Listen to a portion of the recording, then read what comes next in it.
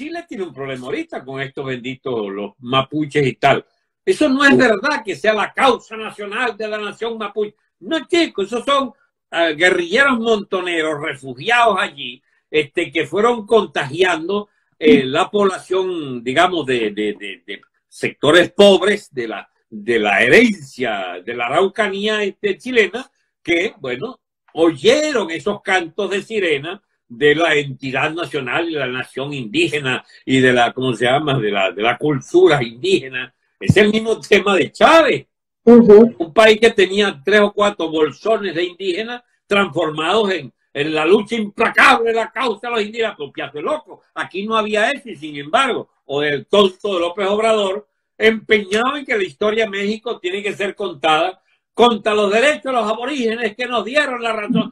Ya va, los aborígenes eran caníbales, chicos. Caníbales que comían carne cruda del corazón que se lo sacaban a las tribus vencidas en los altares de Chichen Itzá y se los comían, chicos. Eran caníbales antropófagos. Bien, México civilizado por Cortés y convertido en la nación más próspera del mundo, porque eso era la Nueva España. La moneda que se acuñaba en Potosí, en Bolivia acá, y sobre todo allí en León, Guanajuato, el real de A8 circulaba en el mundo entero como moneda de la economía mundial.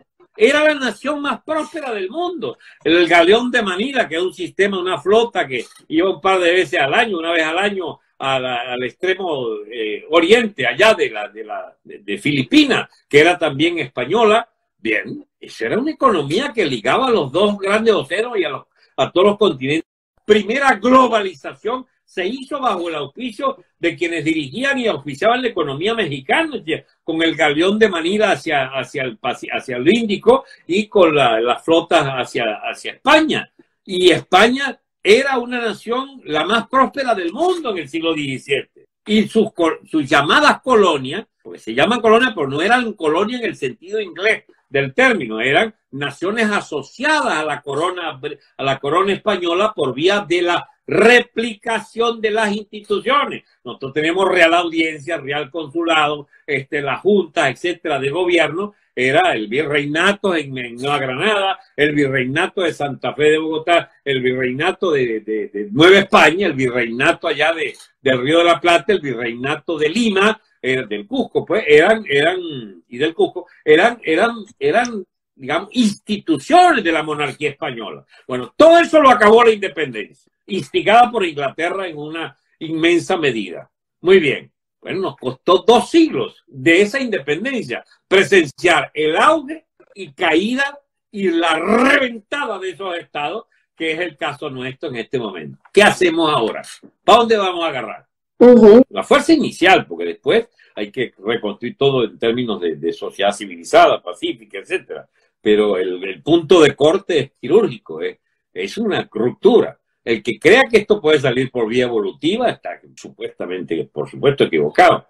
Nosotros necesitamos un trauma, no porque lo queramos, sino que se hace lógico que exista un trauma que parte en dos este pasivo enorme y empieza a construir una, un activo de la nueva etapa del Estado de la sociedad venezolana. Ahora, ¿cómo nos irá? No sé, porque estamos en el, en el cruce histórico de la posibilidad de convertir una nación de bárbaros y volver al salvajismo superior o este, en construir una verdadera sociedad civil integrada por instituciones prósperas, de una economía libre, de una, de una defensa de los derechos de los ciudadanos, de instituciones para ciudadanos y no para déspotas. Esos son los eternos líos de los humanos que, bueno, somos esa dualidad viviente de la vocación para el delito y la vocación para el bien, la tenemos en ambos, ambos dos inscritos en nuestra capacidad de elegir. Y elegimos muchas veces el, el, peor bando. Y al terminar la guerra, es Churchill el que lleva la bandera a la lucha contra la Unión Soviética. O sea, eso fue pragmático, los norteamericanos igual.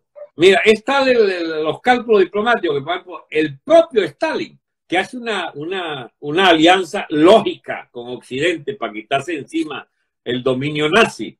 Cuando termina la guerra contra los nazis, él no declara la guerra a Japón, es Estados Unidos el que tiene un año de guerra, ya dos años de guerra, con Japón desde Pearl Harbor, y el año 44, al final, cuando los yanquis lanzan las dos bombas, Hiroshima y Nagasaki, entonces se anima Stalin a declararle la guerra a Japón también.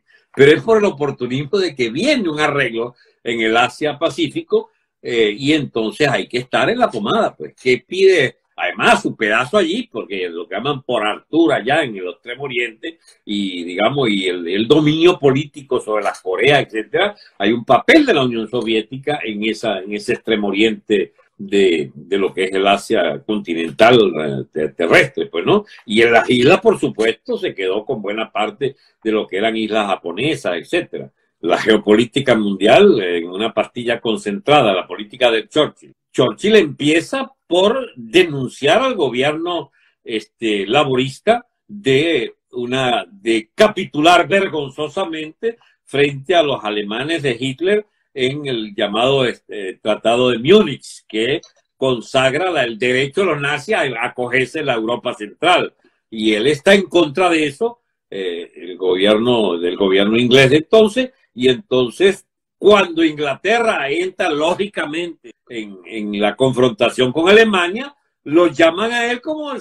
Después de ser minoría, lo ponen a la cabeza del imperio inglés. Y él entonces empieza una lucha tenaz basada en principios, porque lo que la política de, de Churchill es los principios de defensa del imperio inglés. Y los otros eran capituladores que él rechaza por su... Al terminar esa guerra, por principio de conveniencia de Inglaterra, él pacta con Stalin y auspicia las cumbres aquellas de, Teherán y, en, Irán y que va a Stalin y después en Yalta, que es allí en el Mar Negro, la península de Yalta, este, el, el de Yalta, que hay la segunda cumbre. Y hay incluso una tercera, que es en, eh, ya muerto Roosevelt, va Truman y va, y va Anthony Eden en, por, por los ingleses, van entonces a lo que es el Poznan, la, la conferencia Poznan en, la, en las afueras de Berlín, repartiéndose Europa. Pero todo ese diseño final, primero, el diseño de la guerra, y del final de esa guerra es Churchill, el gran ideólogo, el gran ideólogo y que era maestro de, de Roosevelt, porque acuérdate que Churchill era la cabeza pensante del imperio de más experiencia y dominio de los asuntos diplomáticos del planeta. Churchill este, era una especie de líder mundial del momento y, y Roosevelt, bueno, admite ese liderazgo eh, político, solo que Estados Unidos era el que tenía la capacidad de ser arsenal del bando aliado y dar entonces la ayuda que necesitaba Inglaterra y constituir un bando aliado con capacidad para derrotar a Alemania. Y se alían con Stalin en acuerdo Churchill y Roosevelt para facilitar el final de aquella guerra sangrienta. Pero eso es historia.